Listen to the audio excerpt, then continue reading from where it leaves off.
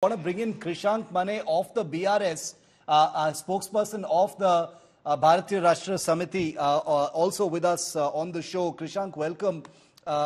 K. Kavita has just been arrested.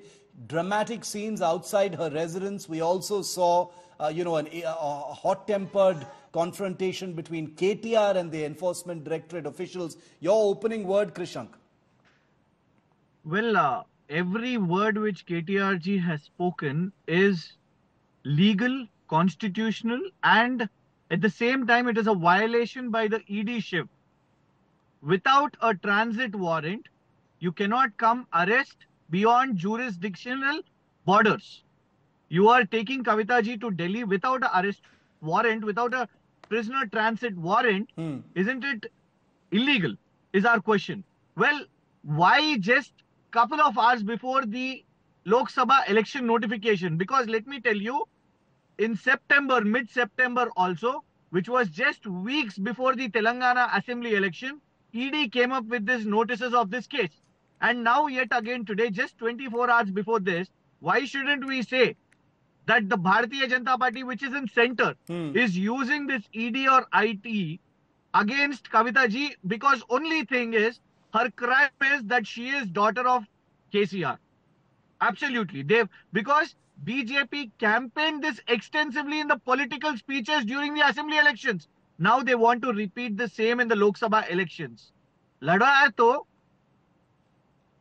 lado. But with this case, which is being dragged since July 2022, hmm. and today they come with to arrest without a piece of paper of a transit warrant. Why shouldn't we say that this is a political vendetta shift? The BJP has to answer for The this. enforced, the enf- okay, uh, uh, st- stay with me, Krishank. We'll have the BJP with us in just a moment. Uh, Munish Pandey is also uh, live with us on this uh, breaking story. Munish, uh, the BRS says this is all completely illegal. You've got some documents. You've been piecing together this entire story. Take it away, Munish.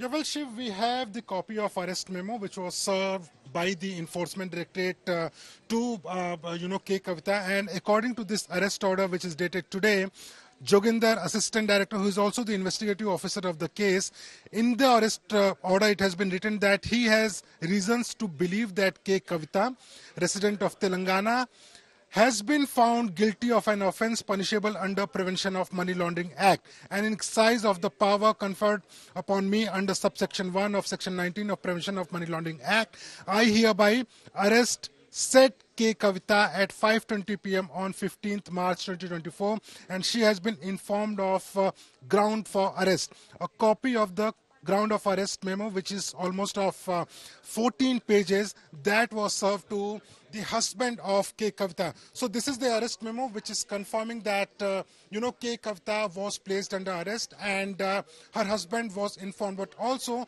what the other party, that is uh, K. Kavita's lawyers and family members are alleging is that there was an order by the Supreme Court that she should not be arrested. When we spoke to the officials of the Enforcement Directorate, they said that the matter was pending before the court, but there was no stay by the Supreme Court, and that is why they decided to arrest uh, K. Kavita, and that is also after questioning. And what is important here, uh, Shiv, to highlight that the arrest. Uh, ground of arrest is of 14 pages and we have been given to understand is that the ED has also highlighted the parts where K. Kavita allegedly destroyed some of the phones. She is someone who was in uh, question by the enforcement directorate. Not only the phone records, but also the parts of the meeting, uh, Shiv, that has been also highlighted by the enforcement directorate. Now, ED is alleging at this point of time is that there were multiple meetings in which K. Kavita and representatives of K. Kavita was also part of it, and the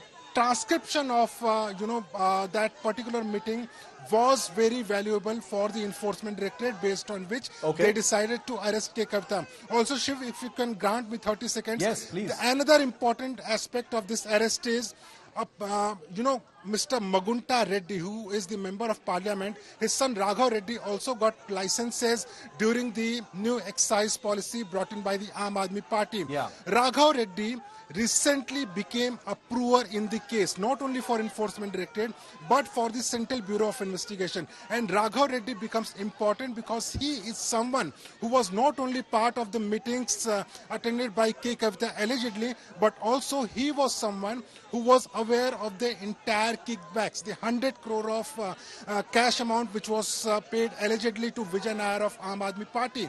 So he was very crucial. Recently he became a prover and his statement to the Enforcement Directorate and the Central Bureau of Investigation as an approver, he has told that he has full knowledge that advance kickbacks were paid on behalf of K. Kavita to the representatives um, in Delhi and that became very crucial and that is when the, the Enforcement Directorate decided to question K. Kavita and later today she was arrested.